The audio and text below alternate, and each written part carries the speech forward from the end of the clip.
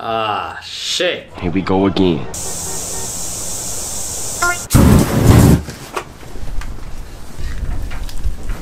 Hello guys, my name is Doke and I am terrified and excited at the very same time. You know, I got my very own, very first VR headset.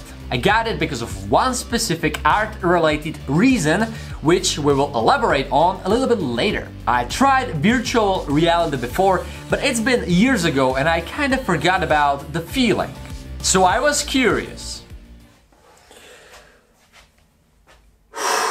This is fucking amazing and fucking scary at the same time. The real life won't make any sense anymore. Anyways, the reason why I got VR is painting. There is this game called King Spray, which promises a real life painting experience without any real life problems. Right now, I'm gonna test the app and I'm gonna tell you whether this is something every artist, pro or beginner, should have.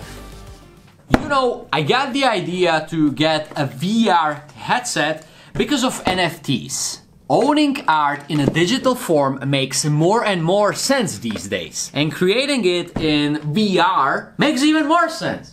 Alrighty. Welcome to my VR. I have to admit that I have tried the game before, about three years ago. Back then I had to have some cables going out of my head. Right now, I'm cable free for now. First of all, I want to try how this works, so I'm gonna go into a well-known environment underpass. wow. It even rattles. This is not realistic at all. If I do this, I die. I wish I have this in reality. All kinds of cans in one hand. Ooh, I have a ooh ooh. Okay, all kinds of different caps right here. Okay, I can pick a color like this: pink dot, thin cap, feather duster. Hmm, 100% beef. Anyways, how do I move? I gotta move. Ah, all right. This is as far as I can go from the underpass. This is so realistic. I mean, the water is a little bit lame. All right, so let's make a dot. Okay. Okay. Uh-huh.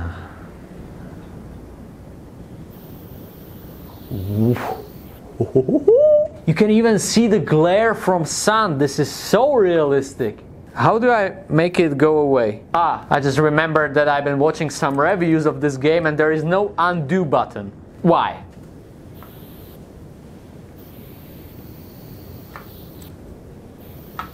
Uh, let's try again.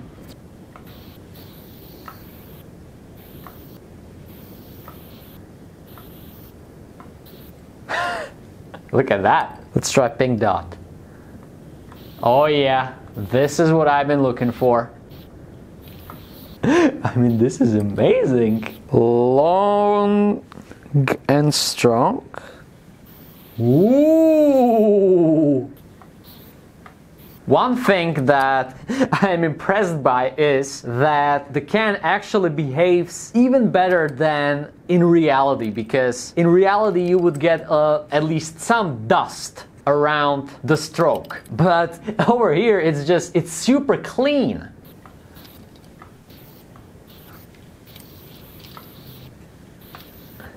Look at that. It's like a marker. Okay. I have a phone in my hand now what can I do with it? Multiplayer, clean. Aye aye. Woof! Back in the studio. Let's hit some trains, I guess. I'm sorry, it's a few days later because I had to paint some real life murals. But right now, let's get back to the reality, virtual reality. So let's begin. Funny story, the very first and the very only train that I ever painted looked like this. Exactly. And I never finished it, so let's do that now. Metallic. Can I get like a chrome color? Chrome? Okay, let's try metallic color. This is a setting that I turned on that I can actually see the size of my stroke. It would be nice to have something like this in real life. Ooh, opa. This is even better than real life Chrome. I love this.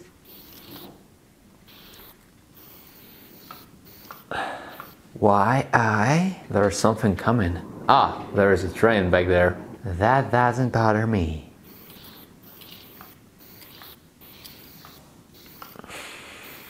Why I see, boy! Let's use pink dot for the fill, just like in reality.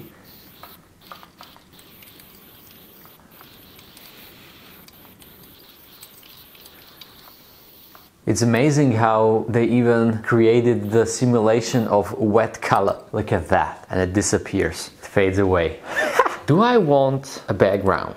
You know what I don't. Chrome and black it is. I'll try to do it with a chisel. Okay, but I didn't want metallic black. I want normal. It's not metallic. Okay, so it was just wet.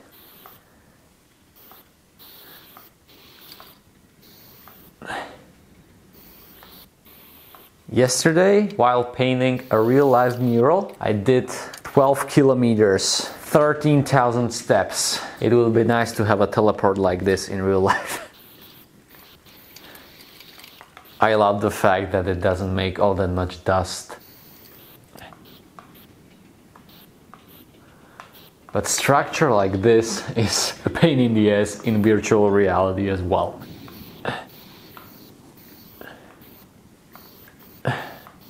One thing that I like about VR is that you are actually moving. I mean, I just mentioned that I have a teleport, but you know, I'm doing this physically. It's different to classic PC games where you just sit behind the computer for hours. And when you actually play games like boxing or some other sports games, you can get pretty sweaty. Look, this is exactly what would happen in real life. Oh no, one cool trick. If I press one button, I can sample the color that I already used. So I can do this. This is amazing because in reality, I would need to go somewhere, I would need to take a different can. I know that it sounds like bitching about very little problems, but when you paint for 8 hours, these little problems become a real pain in the ass. I would like to get higher. I can probably grab this Ooh, I'm very strong. I have a very strong wrist. Boom. Okay, how do I get on it? Like this. Simple. Nice.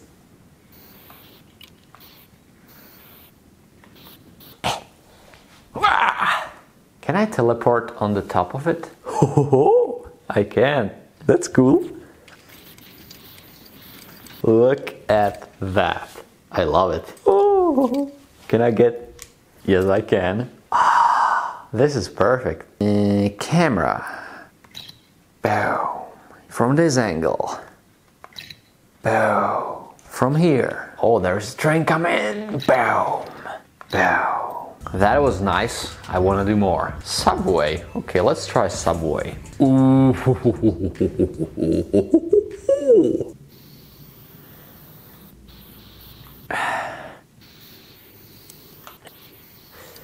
D.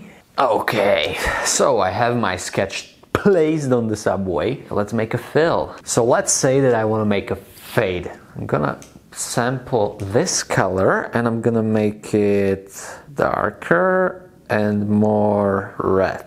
Something like that. All right, let's try to make a fade.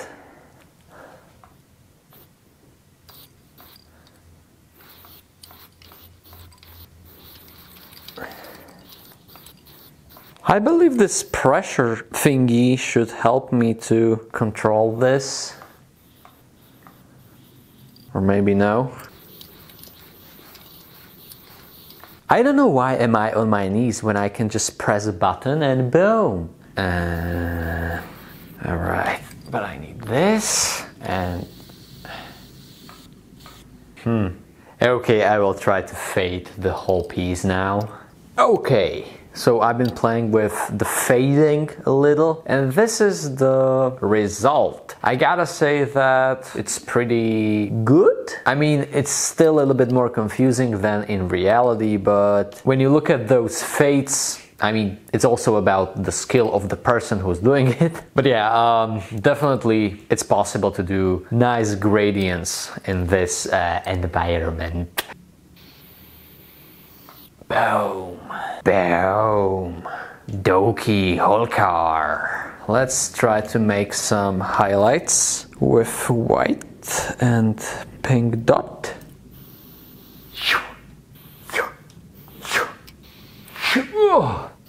Boom. Okay, so highlights are there, and what about a little bit of shadow? Because these letters are overlapping, so I will try Feather Duster. Yeah, that kind of worked. I will do the same thing right here. Also over here. And right here. Looking good? I guess I can sign this masterpiece. My first whole car. There you have it. I just need a picture, but because of these stupid pillars, it's a bit of a problem. I can't take a picture. okay, this is kind of okay. What about this angle? Okay, nice. But there is this one thing that bothers me. During the painting of this piece, I realized that one work that I just messed the piece. Um, I realized that there is this one thing that I really miss. When you take a can and you put it this way, you get a fade this way and a very sharp line on this side. But over here, it doesn't really work that way. See? I would like to have a fade right here, but I don't have it. I don't get it. It just doesn't work that way. And that bothers me because I use that technique a lot. Ah, and it's ruined.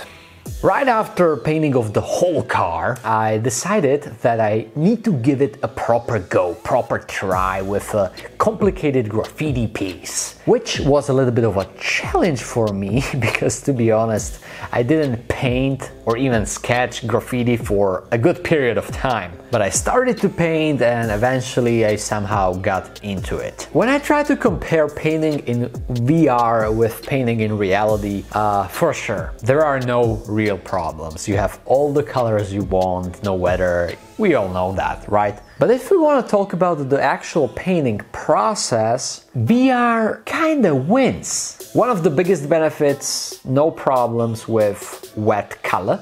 You don't need to wait for anything, it dries instantly. Also, the can control is pretty predictable when you get used to it. And when you get used to all the controls and all the possibilities that you have, the workflow in VR, it's awesome. I mean, I wish that I can switch colors in reality like pow, pow, pow, pow, pow. One of the biggest benefits that I see here with the VR is the physicality. This is one of the things that I really like about painting on walls that it's very physical and the strokes the shapes, you make them with your whole body, and it's pretty much the same with the VR set. There are some negatives though. Um, I find it a little bit hard to make straight lines, especially with some caps. It's not a big deal, but I couldn't really get it as clean as in reality.